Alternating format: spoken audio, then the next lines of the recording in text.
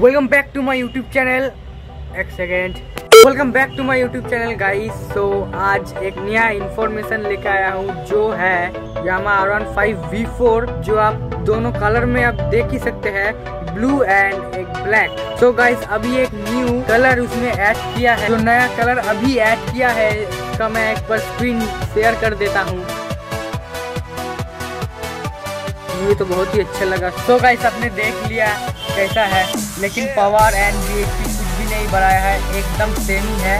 लेकिन कलर एक नया कलर आपको देखने को मिलता है जो एकदम सही है। So next so Yamaha R one M में आपको 998 सीसी का इंजन आपको देखने को मिलता है। बी प्रोड्यूस करता है 200 एंड टॉप स्पीड अचीव करता है 299 किलोमीटर से लेके 310 bhp and on road price की अगर बात करें तो करीब 28 लाख से 30 लाख रुपए इसको खरीदने के लिए देना पड़ेंगे।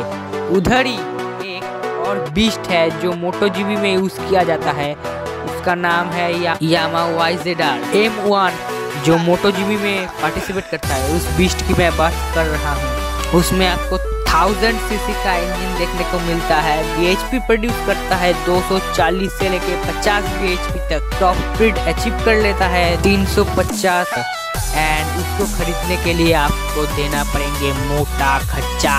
उसका प्राइस करीब टू करोड़। समझ रहे हो? टू करोड़ रुपीज़ को देने पड़ेंगे खरीदने के लिए। और सिर्फ़ मोटो जीबी में यूज़ किया जाता है।